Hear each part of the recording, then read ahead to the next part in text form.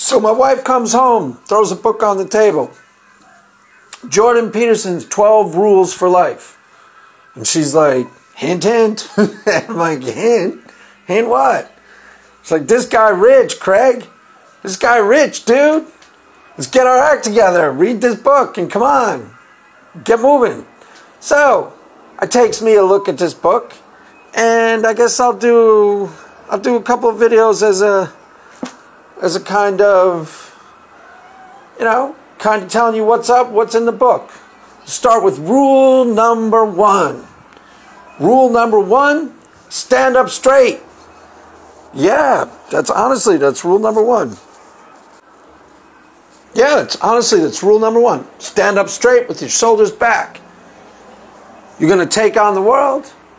You're going to have to act like someone who's going to take on the world. Now, the first rule is kind of a common sense.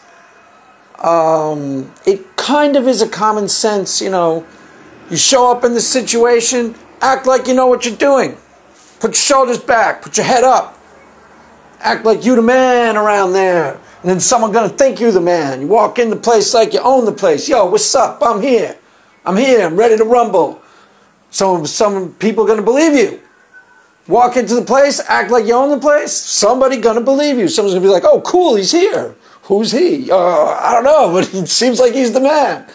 Act like the man. It's kind of a, it's kind of a common sense thing, and then he goes into the science of it. Um, he uses an explanation for, or he goes into a description of dominance rituals of lobsters of all things. Yeah, lobsters are hardcore. I didn't know it either. Lobsters, lobsters kick ass, man. Don't don't mess with no lobsters. They have elaborate rituals to establish, establish who the baddest ass lobster in the on the ocean floor. You know, I'm the I'm the meanest I'm the meanest lobster in town. You don't want to mess with this lobster, son. You want to see these hands? I don't think so. Be told I'm the I'm the baddest ass lobster on this here ocean floor. I'm from Maine, child. You don't play around with me, no. Want to see these hands? So, lobsters have this elaborate ritual um, wherein they're trying to establish their dominance, and there's a four there's four stages of it. Just, just to give you the general synopsis, there's four stages of it, and they try to establish their they try to make to, to establish the dominance before they have to get to actual combat. Because when lobsters actually get to actual combat people get hurt. Lobsters hurt other lobsters and injure other lobsters and he's kind of going somewhere with the with the with the premise of in life there is such a thing as a positive feedback loop Positive feedback loop is kind of like I said. You walk into the place, act like you're the man. Somebody going to believe that you are the man. Then they're going to treat you like the man. Then you're going to start even acting a little bit more like the man. There's a positive feedback loop. Now he even explores the neuro, neurologically speaking. This has even roots in serotonin release. And that's why he goes into the lobsters. When the lobsters, when a lobster gets defeated, you know, then he starts moping around lobster land. It's like it's like if you wanna if you wanna succeed in life, rule number one, chin up. You know, hold your head high, shoulders back, act like you in charge, act like you're gonna take charge. Of course, this being Peterson, you know, he goes into a he goes into a more um, you could say scientific. Some people say deepity and he says, I quote, to stand up straight with your shoulders back is to accept that the terrible responsibility of life with eyes wide open. It means deciding to voluntarily transform the chaos of potential into the realities of habitable order. It means adopting the burdens of self conscious vulnerability and accepting the end of the unconscious paradise of childhood, where finitude and mortality are only dimly comprehended. It means willingly undertaking the sacrifices necessary to generate a productive and meaningful reality. It means acting to please God in the ancient language. I was thinking when I read that immediately pick up your cross and follow me. Pick up your cross daily and follow me. Then he goes on to say, quote, to stand up straight with your shoulders back means building the ark that protects the world from the flood, guiding your people through the desert after they have escaped tyranny, making your way away from comfortable home and country, and speaking the prophetic word to those who ignore the widows and children. Then he goes on to say, So attend carefully to your pastor.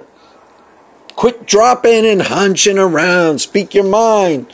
Put your desires forward as if you had a right to them, at least the same right as others. Walk tall and gaze forthrightly ahead. Dare to be dangerous.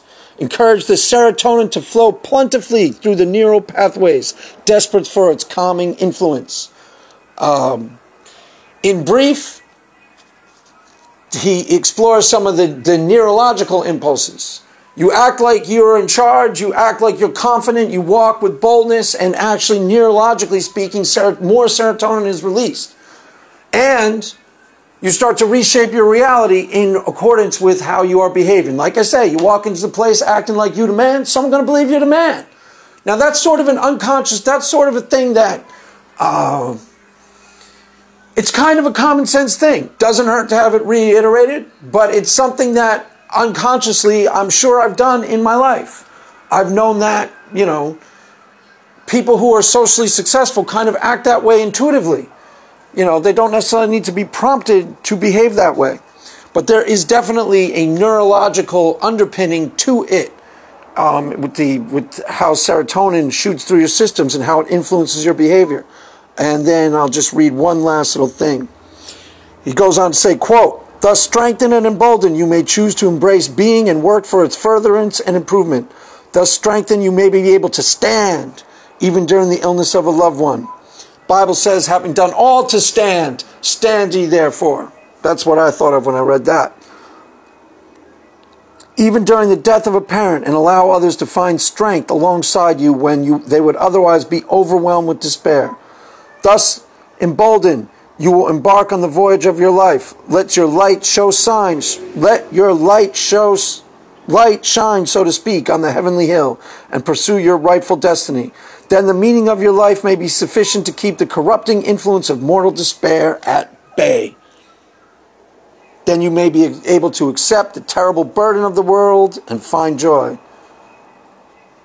Look for your inspiration to the victorious lobster with its 350 million years of practical wisdom. Stand up straight with your shoulders back. That's Jordan Peterson. Amen. Kick ass. Go out there and kick ass. Let me just add that. Other scripture that occurs to me as I was reading that I can do all things through Christ who strengthens me. If you believe that, if you believe that you have strength sufficient unto all situations, guess what? That is going to help you have strength sufficient unto all situations.